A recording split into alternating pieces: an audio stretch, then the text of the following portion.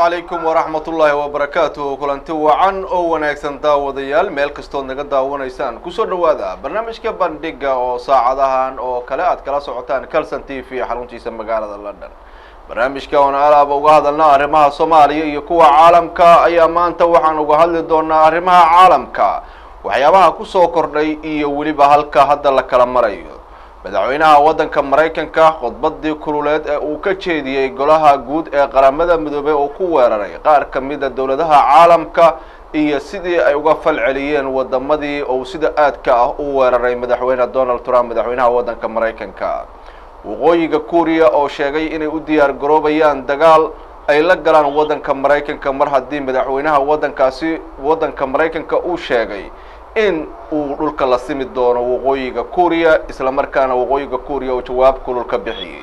Koonfurta kuuriya oo sheegtay gantaalada waddanka maraykanka uu doonayo in uu ku rakibo waddankaasi in aysan ka mid noqon doonin hubka nucleer-ka ah. Waddankaasna aan loo daadguray karin.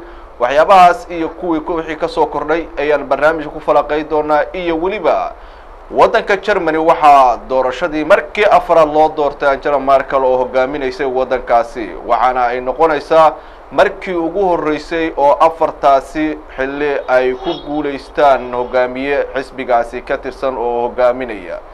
Waxyaabaha sida aadka loo hadal haya waxaa ka mid a in kuraas aada u badan ay markii ugu horreysay lumiyeen xisbigeeda iyo weliba xisbiga kale ee ay la midoobay karta xilligan. Waxyaabahaas iyo weliba kabixitaanka dowladda waddanka britain ay doonayso inay iskaga baxdo guud ahaan midowda yurub iyo qaabkii looga baxayay oo ay qorshayaasha waddankan britain uu doonaya iyo waddamada yurub ay isla fahmi la-yihiin in badan oo kamida qodobada sida aadka ah la iskugu diidan yahay iyo waxyaabaha ku soo kordhay barnaamijka ayaad ku maqli doontaan. Sidoo kale waddanka ciraaq kurdishku waxa ay maalintii shalay qaadeen afti ay doonayaan inay kaga baxaan waddanka ciraaq intiisa kale oo dowlad madax bannaan ay ku noqdaan. Halka ay arrintaasu maraysana waad maqli doontaan madaxda ka jawaabtay turkiga iyo weliba waxyaabaha uu ka aaminsan yahay in xilligan waddanka ciraaq laba qaybood loo kala jaro. Iiraan maxay ka tiri arrinkaasi? Qodobadaas iyo qodobo kale ayaad ku maqli doontaan barnaamijkeena waxaana maanta si weyn barnaamijka u falanqay doona injineer axmed abtidoon oo horey a uga barateen magaalada sheffield balse markaan ku sugan magaalada muqdisho oo howlo shaqo uu u joogo. Maanta waa mar kale iyo barnaamijka bandhig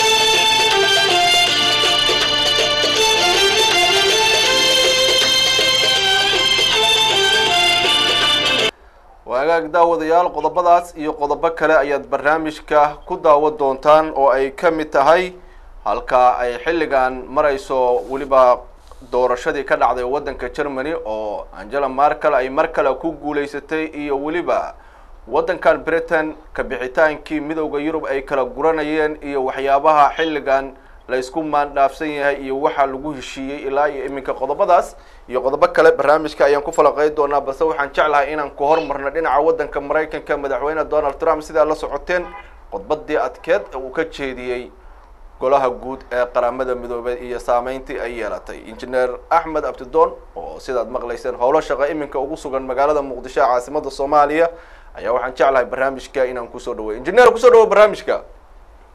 Waa mahadsantahay maxamed marka hore muqdisho aad joogtaa waa markii ugu horreysay oo barnaamijka adoo maanta muqdisho jooga aad ka qayb qaadanaysid. Waxaan jeclahay haddii ilaahay yidhaahdo amaan in ilaahay halkaas oo kugu siiyo adiga dadka kale oo soomaaliyadu halkaas ku wada sugan. Bal haddaan ku hormarna dhinaca maraykanka iyo khudbadii madaxweynaha waddanka maraykanka uu jeediyey iyo waxyaabihii ku soo ka soo baxay iyo saameyntii ay yeelatay marka ugu horeysa maxamed waan ku salaamayaa adiga iyo tiimkaagaba waan idiin mahad celinayaa.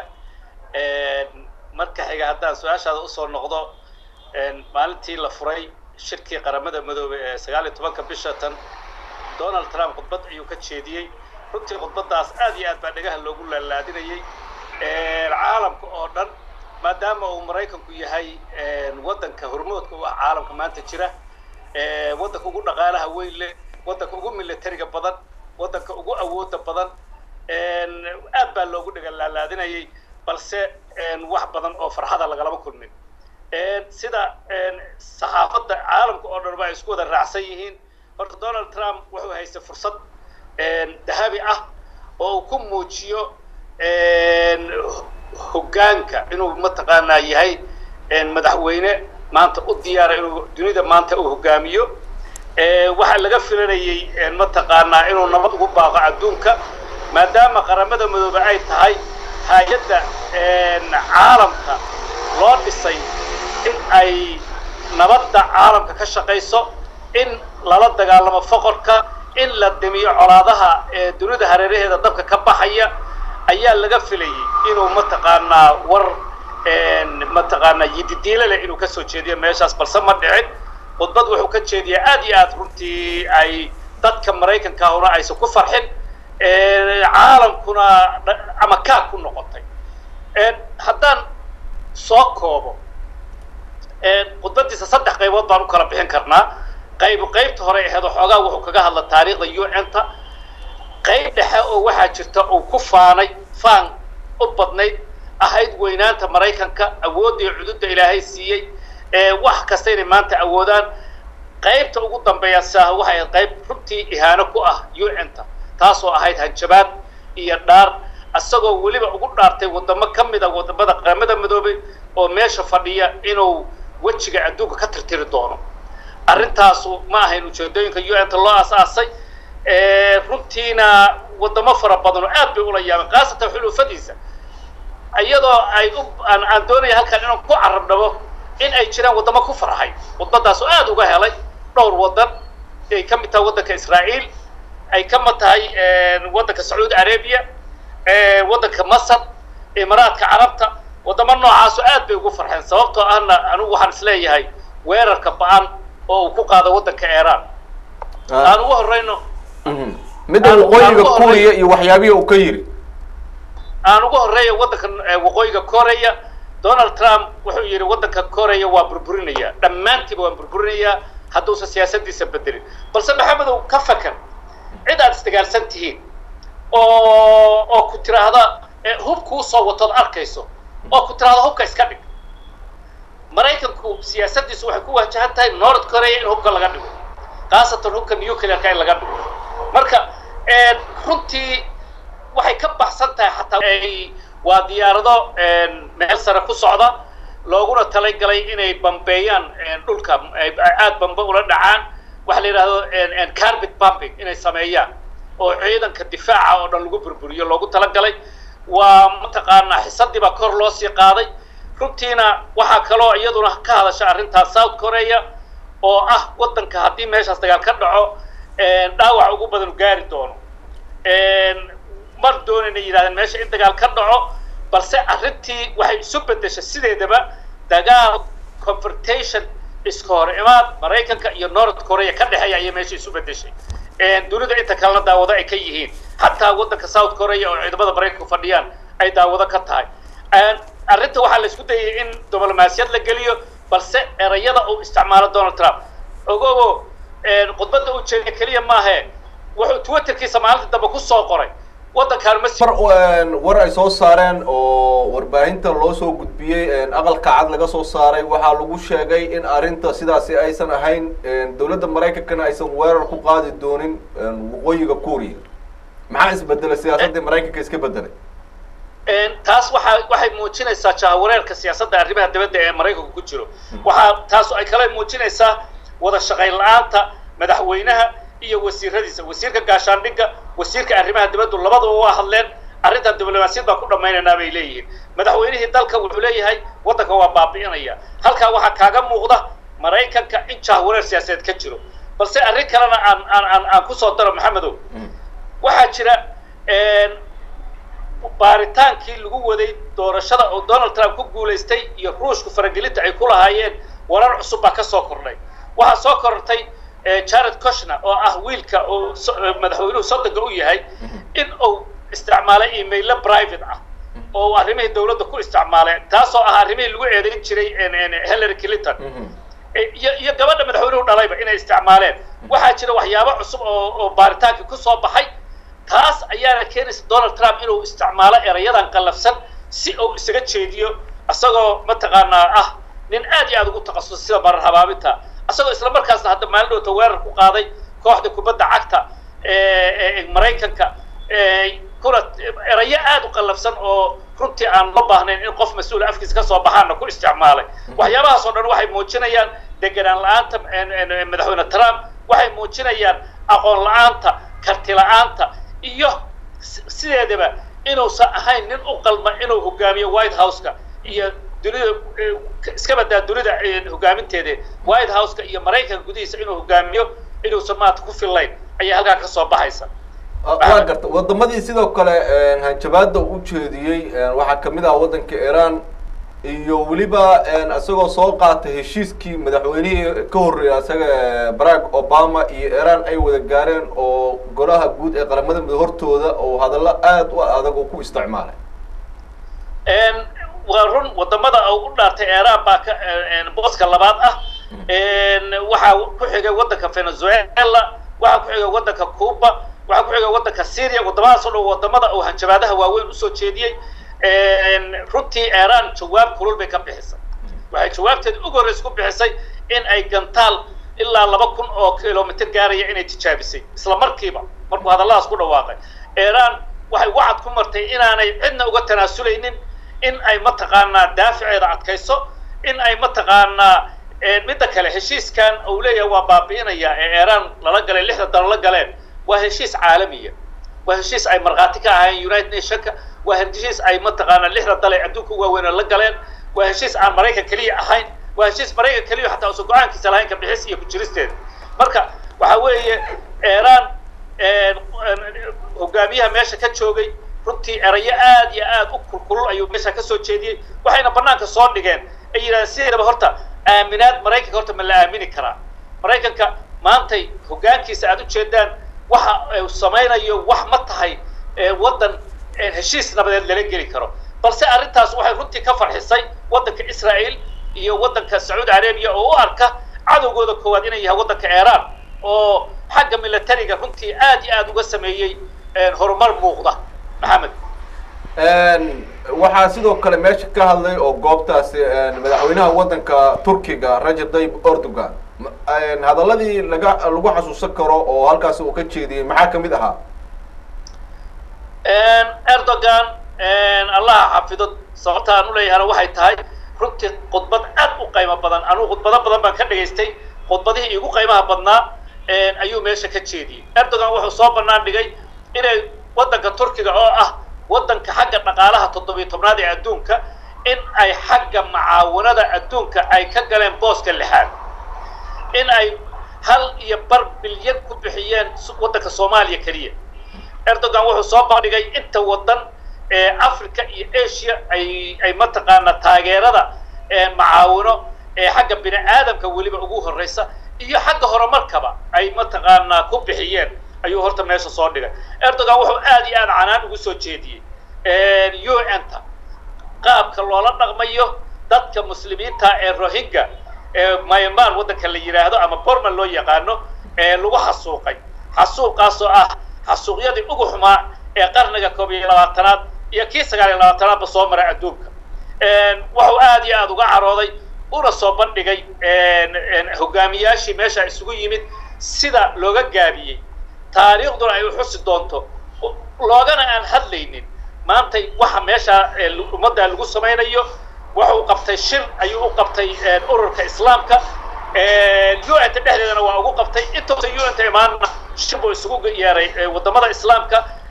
Wuxuu rabaa erdogan in la sameeyo hab ka ugu hagaagsan horta marka ugu horeysa dadka nusbeliyaka ka badan ee rohingaha ah ee u soo qaxay waddanka bangladesh loola gaari lahaa wax ay nafta loogu celiyo. Nafaqa ah mataqaanaa diifta looga fujiyo. Marka xigana loo dejin lahaa istaraatiijiyadii dadkan dalkoodii loogu celin lahaa loogana hortegi lahaa nimanka horarka ah ee xaquuqul insaanka meesha uga dhacay ummadda halkaa joogtana ku baabi'inaya maxamedow waa gartay. Waxyaabaha sidoo kale oo ku eedeeyey golaha guud qaramada midoobey waxaa ka mid ahaa inay aqbalaan in hortooda wadamo loogu hanjabo wow aad iyo aad buu u weeraray. Siyaasadda maraykanka khaasatan siyaasadda donald trump aad buu u weeraray erdogan. Halna maanka ku hay. Turkigu waa waddan naata ka mid a waa waddamada ugu ciidamada badan ee naata ku jira. Waddanka labaad weeye. Balse wuxuu yidhi ma aqbalayna buu yidhi jabaadaha laga soo jeedinaya halkaa wax la qaadan kara maaha.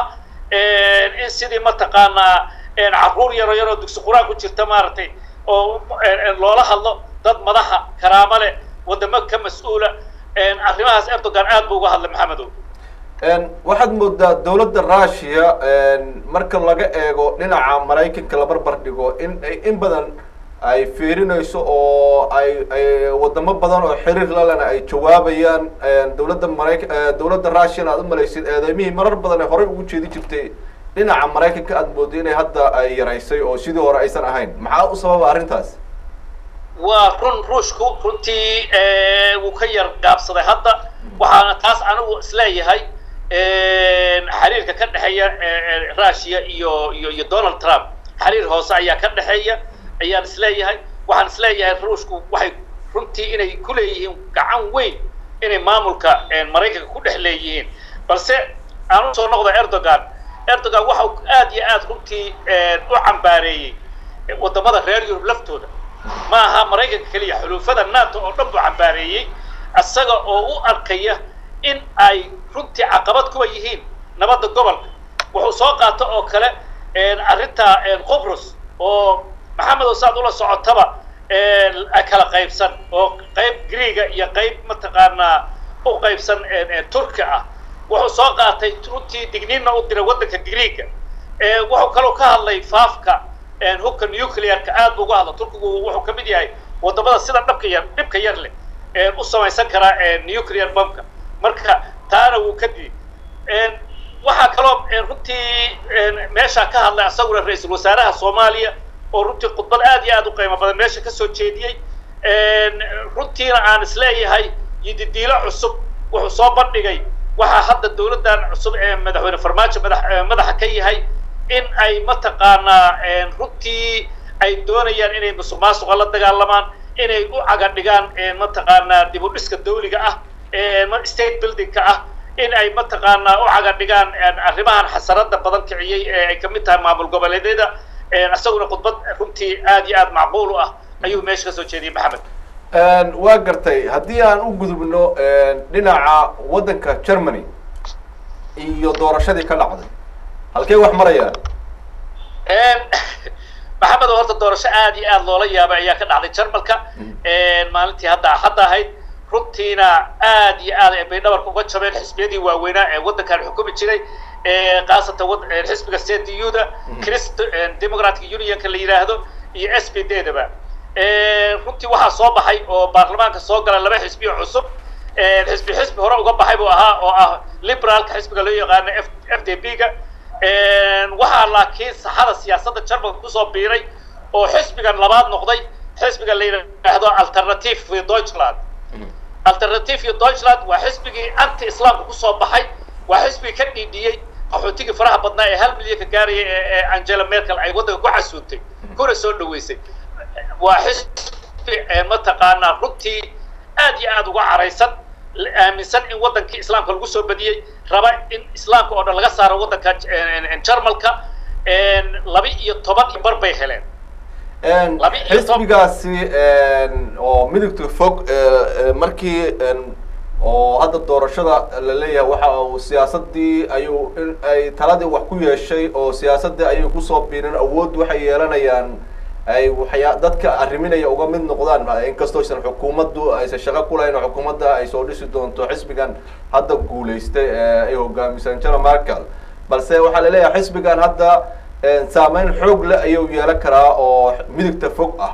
Marka saameynta uu yeelan karo mid nooce ayay noqonaysaa saameyn weyn buu yeelanayaa maxamedo waa taa ku sheego twelve point six percent ayuu horta ku soo baxay.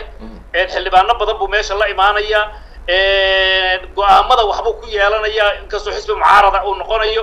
Balse waxaa kaloo isaguna runtii dhabarjab ku dhacay s b d da oo collision kula jirtay dowladda angela merkel.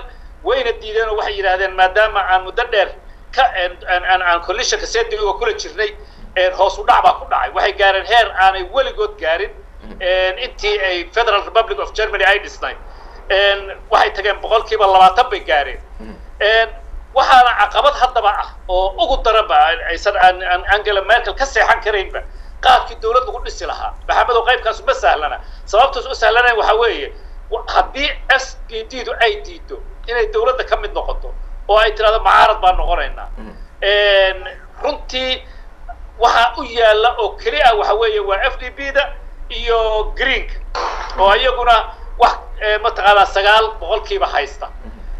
Sidii la isugu soo dumi lahaa siyaasad ahaan greenka iyo f d b da iyo sedi udo awalba laba xisbi ahaan jirta si isuba ay ku jirta ayaga oo collision la oo ayagu baayan keliya xukuma.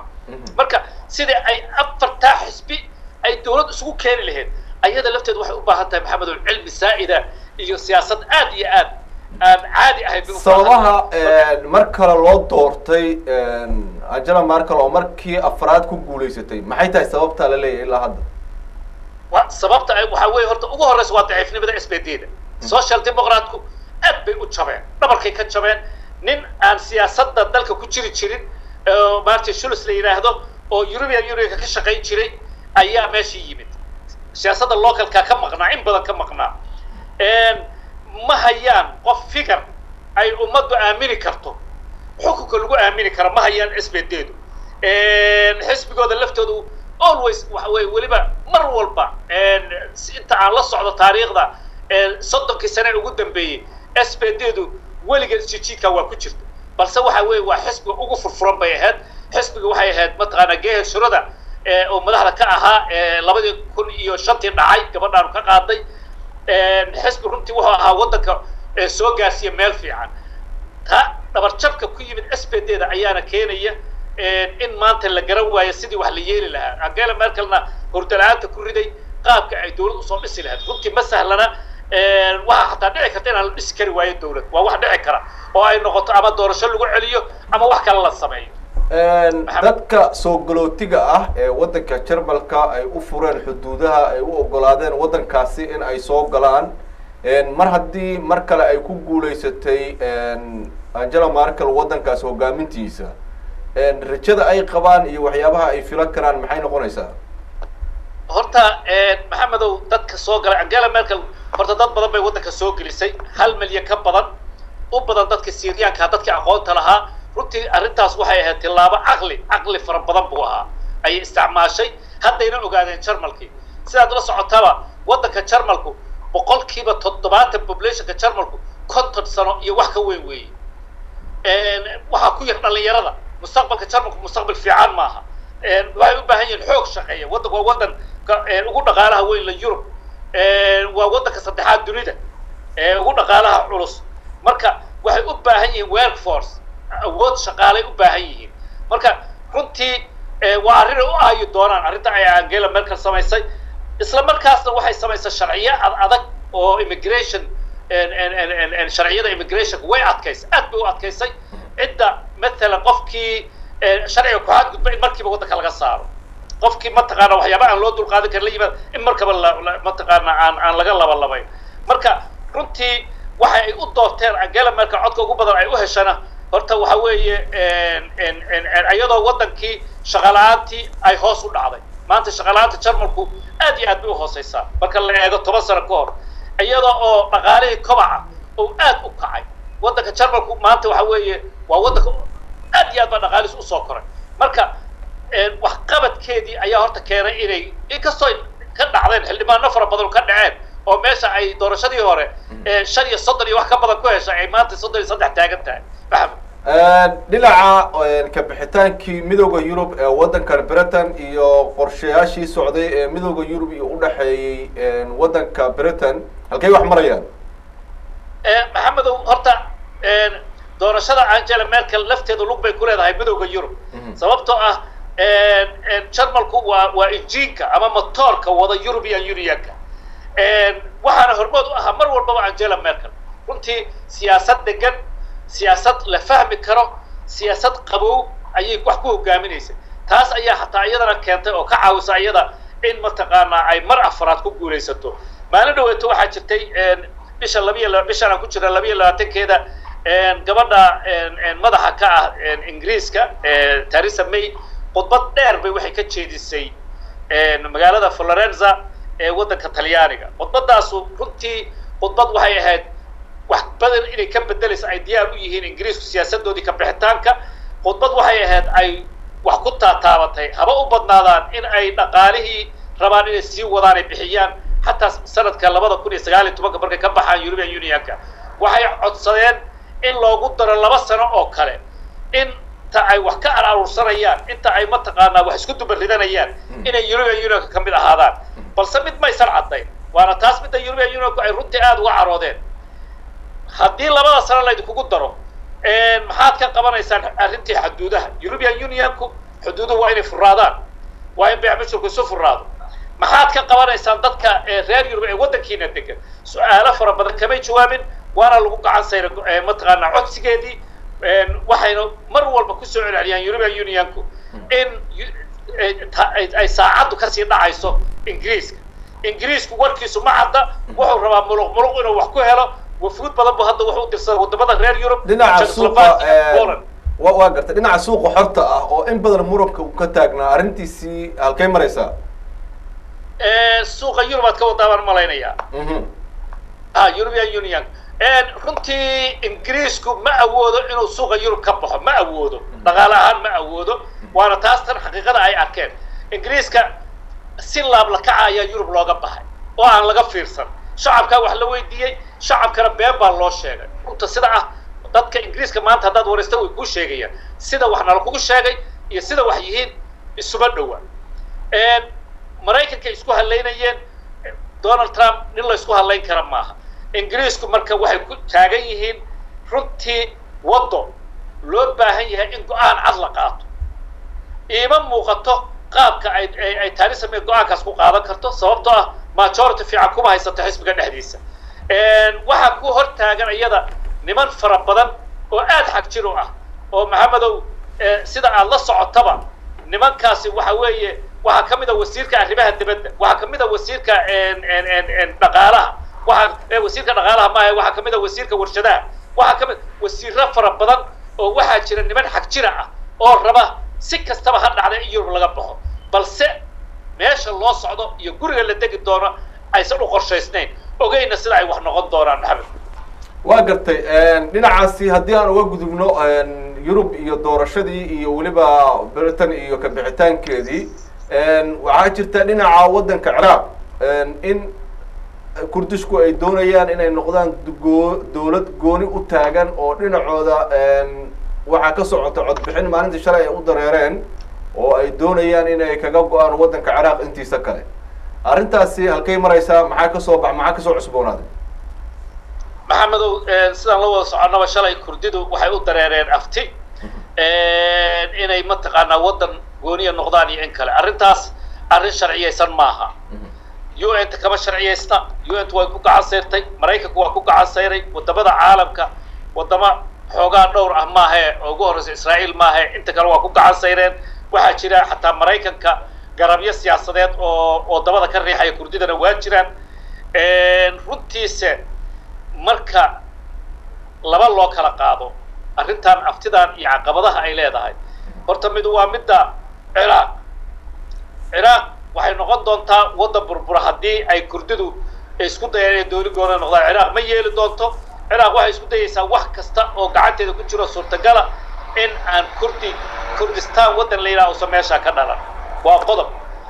Haddaan ka eegno xagga gobolka. Ha ugu horreeya waddanka turkigu. Waddanka turkigu dagaal buu ka xigaa in meeshaan ay ka soo baxdo dawlad kurdi ah. Sababtoo ah ciraaq kurdida degani waxaa lagu qiyaasaa ilaa shan milyan five point two meelaha. Laba dhibic shan dhibic labo. Milyan baa lagu qiyaasaa balse ogogo afar iyo toban ilaa shan iyo toban milyan oo kurdiya ayaa waxay degan yihiin waddanka turkiga. Marka turkigu marnaba ma aqbalayo. Gobolkan xataa laftiisa waqooyiga ciraaq kurdida waxaa la degan turki badan oo turkigu meesha waxbuu ka degan yahay. Marnaba aqbali u maayo shalana ciidamo badan bay soo dhoobeen xaduudka arrintaasu waxay keenaysaa qalqal siyaasadeed waxay keenaysaa amni darro cusub waxay ku sii daraysaa. Dhibaatadii horeba meesha uga jirtay oo ahayd daacish iyo la dagaalankeeda iyo haddii arrintii suuriya iyo arrintii sheeca iyo sunniya laysku haystay ee mataqaanaa ka dhexaysay ciraaqiyiinta dhexdeeda ayay dab ku sii shubaysaa. Arrintan laakiin kurdishku muddo dheer ayay soo jirtay oo ay doonayeen inay helaan in ay gooni uga go'aan ciraaq iyo weliba kuwa syriya jooga sidaas oo kale way u ololeynayeen marka culays nooce ah ayay gobolka ku soo kordhinaysaa arrinkaas. Culays fara badan culays fara badan. Maxamedow saad la socotaba kurdidu waxay degan yihiin ciraaq waxay degan yihiin iiraan waxay degan yihiin turkiga waxay degan yihiin syria intaasoo waddan baa horta qaybsaday meel haddii laga fiiriyo waa ummad shacaba oo runtii xaq u leh inay aayahooda ka taliyaan. Balse waxay in xuduudaha maanta wax laga bedelo waxay kuwo kale oo deganaansha haysta ayay deganaanta ka qaadaysaa. Waxay dhibaato u keenaysaa waddanka iiraan waxay dhibaato u keenaysaa waddanka turkiga.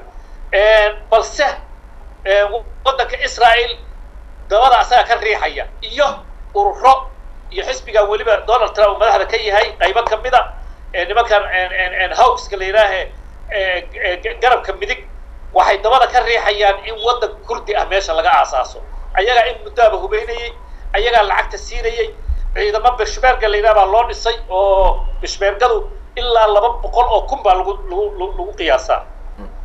Waa gartay intaa ayaan jeclaa inaan ku soo gabagabayna laakiin waxaan jeclaa intaana barnaamijka ka bixin magaalada muqdisho ayaa dib ugu laabatay maxaa kaaga baxay maxaa iska bedelay magaaladii muqdisho? Oo muddo aad ka soo maqneed. Maxamedow waa runta muddo dheer baan magaalada muqdisho ka soo maqnaa.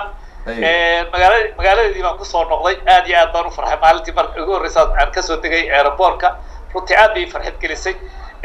Magaalada waa soo marmaray. Waxaan tegay ilaa iyo xeebta liidaan soo maray. Waxaan soo maray mataqaanaa ilaa iyo afgooyaan gaaray waxaan tegay meelaha magaalada cusub ay ku ballaaratay. Sida mataqaanaa daynile kaxda hadday ahaan lehed caano geel baan u doontay halkaas.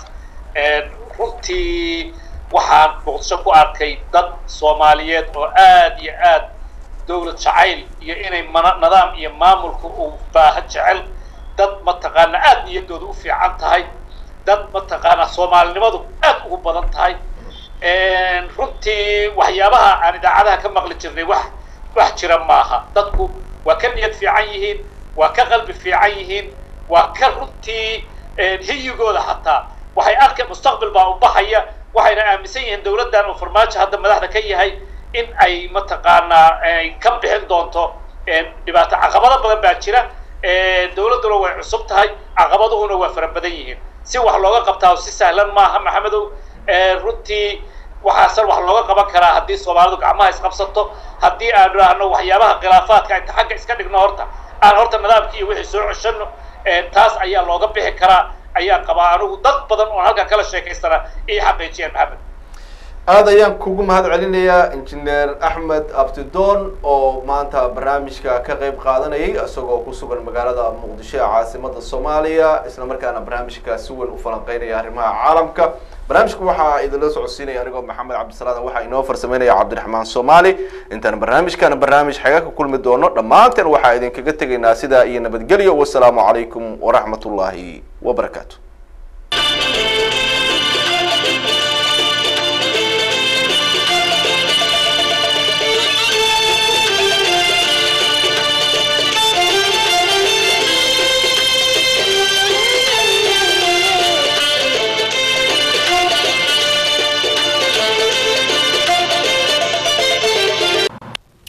ummaddoo kale maana isku meelna u jeedda. Haddii xaja mahiiba muftaaxeeda la waayo macluumaadka adduunka iyo meertadaa la dayaa meel fog baa la dhugtaa. Ruuxuna ruux kama maarmo. Mar haddii laysmaagana mar baa layscafiyaa ma dhammaato colaadoo maqashaada dhex taaliya ma ilowda dan maahan qalbi meel ku adkaysto. Madda kayrka horseediya maslaxooyinka diidana ma rastuu salfadaa dagaal maatada weeqana makaankuu dumiyaa. Dal masiiba ku raagtana muskaa loogu jiraa. Hadal aad u macaaniya mowqifaan soconayna mooye suu noqon doonee soomaalaay dan muhiimiyo haddaad waana maqlaysid wax maamuusan lahayn oo magacoodu ku raaciyo maal gargaar loogu sheegoo meelna kuugu filnayn inta aad mahayo iyo meeyayay ku jirtaan mugdi baad hurtaanoo markab quud lagu keeniya maquunaad sugataanoo madaalkii idinsiyaad magantiisa tihiine mana sheegad sheeyiya mihintoodiyo beenta waad ka maarmi kartaane dad yahuma ismaqashaan oo idinkoo iskumaan oo isku mowqif ku taagan mawlahay baridaan mar mar in laysku filnaadana marta ma u xirataan oo maraa waaxid dalkeenna maguuraankiiyo keyrka rabbigay ku manaystiya macdantaa iska taalliya miidamaad dhurataanoo kulligiin maalqabeen iyo malyandheer noqotaanoo waddankiina macaaniyo mahdisaan gacantiinna war maxaa maskaxdiiya miyirkain ka qaaday? War miyaydna arkayn murugmarugsheeye waxaan ka macaashnay war miyaydna arkayn mudnaantii dhaqankeenna iyo halka maanta aan joogno war miyaydna arkayn ismaandhaafka khilaafka haddii aan laga maagan meesha ayna dhigayso war miyaydna arkayn mashaqada dalka taal war miyaydna arkayn masiibooyinka muuqda war miyaydna arkayn mahadhooyinka beermay war miyaydna arkayn dilka aan marna joogsan war miyaydna arkayn inta ruux mudana iyo dar muhiima la laayey war miyaydna arkayn malaayiinta qaxaysa war miyaydna arkayn inta moolka badweyntiiyo maayadaa ku dhammaatay war miyaydna arkayn dadka meel kasta daadsan war miyaydna arkayn macaluusha iyo cayrta war miyaydna arkayn muusanowga dhallaanka war miyaydna arkayn qurbaha maatada joogtiya midda ay la kulmaan? War miyaydna arkayn dadka waayey maciinka magaciinana sheegta? War miyaydna maqlayn qayladhaanta maxbuuska? War miyaydna arkayn kuwa jeelka ku mayday? War miyaydna arkayn mawaadiinta dhammaatay? War miyaydna arkayn mahuraanada quustay? War miyaydna arkayn magaca sii dhimanaya? War miyaydna arkayn dadkeennoo kala maarmay sida loo kala miiray? War miyaydna arkayn midnimadii ummaddeenoo mahayooy ku dhammaato maanta taagan xaduudyo war miyaydna arkayn mariidkii isticmaalko masna taagan agteenna. Inuu maamulo ciiddoo meel cidlaa uu ka qaato mar labaadna gumaystana maanta aad ugu dhaarsan. War maxaa maskaxdiiyo miyirkii in ka qaaday mixnad aan baxahayn iyo mucjisooyin halaag leh meel kastoo laga sheego allaahuma naajaynaa muslimiintu dhahan anna xaje maroortiyo midda haysa dadkeenna. Meel kastaan ka caddeeyo murtidaan ku tilmaamaya malaayiin xil u waashay ma waxbay maqlayaan. Ayagaa isu muuqday ma waxbay maqlayaan. Keligaa wax marooqsay ku mashquulsan yihiinoo kulligood madaxweyniyo mudana aan dhacahayn baa mid kastaaba rabaayo maare loo heli maayo mar horaa lagu daalo waa miday isku sheegtaye dan guud meelka dhaceed iyo halka ay ka maroorto markhaati u yeelee qof kastoo magac guud iyo matalaya dadkaas iyo mas'uul ciidda u dhaartaiyo kii muwaadinahayow maantay maalin adduun iyo madal weeye la joogee? Wax markaa ku hor yaalla masna aad sahlanayso hadhow meel xun tagaaya wax markaan ku hor yaalo maanta aad sahlanayso berri meel xun tagaayiyo. Wax masaalaxa keenoo madmadow aan lahaynoo dadku ay mahadsaan labadaa kala miiroo miisaamoo kala saaroo midka qayr kala qaata haddii laismaqli waayana muddo waa beritoole mawdna waa mahuraane ilaahow noo masaabaxoo noo micin weligeen ilaahowna masaabaxoo noo micin weligeen qof kastoo ismagoogiyo qof kastoo ismaqiiqana kollay mawle agtiisa wixii uu ka mutaysto mar unbuu helayaa mar unbuu helayaa. Intaas waxaa la yidhahdaa gabaygaas war miyaydna arkay